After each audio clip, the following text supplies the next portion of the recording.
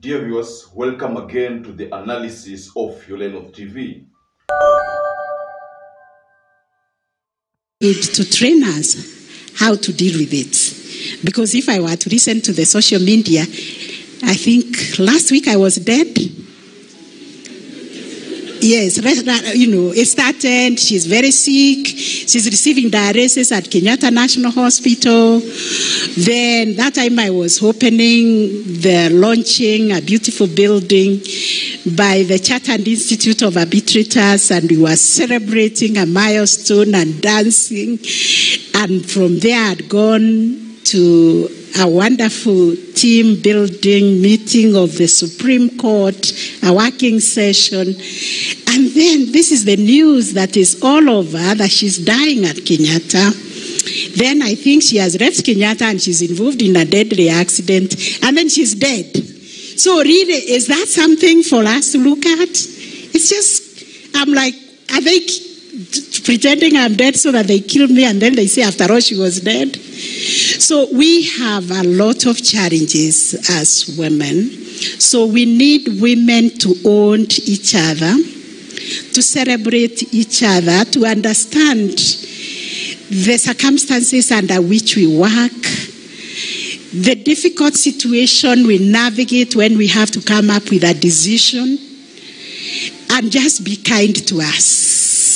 So, if there is an organization that extends love and kindness, I would ask that they also surround us with love, kindness, and prayers and encouragement, something to keep us up there elevated.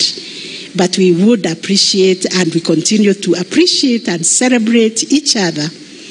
And also to thank our partners who have understood the difficult circumstances under which we work and they have come in in a big way to render their support, especially our development partners.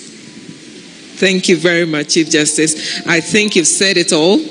We will continue to learn from you. We will continue to support you. And I think now maybe our institute will change our tagline to love, support, and elevation. Yes. So let's love each other, let's support each other, and let's elevate each other. Because when we do this and more, we all grow. When our Chief Justice shines, we all shine. Kenya shines and Africa shines. So let's go shine. Honorable Chief Justice, thank you for shining today. Thank you.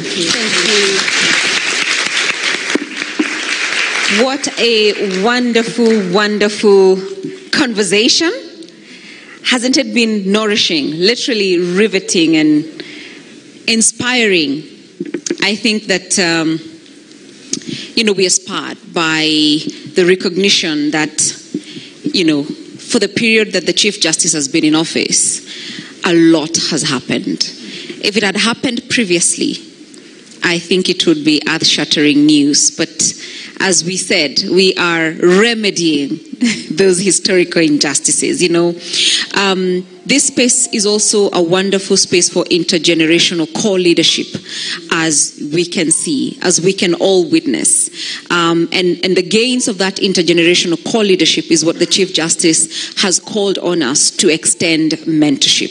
Thank you very, very much. Allow me to invite you back to your seats so that we can proceed with the next part of the program. Thank you very, very. Please uh, let us uh, appreciate the Chief Justice and Professor Downey for that amazing, amazing conversation.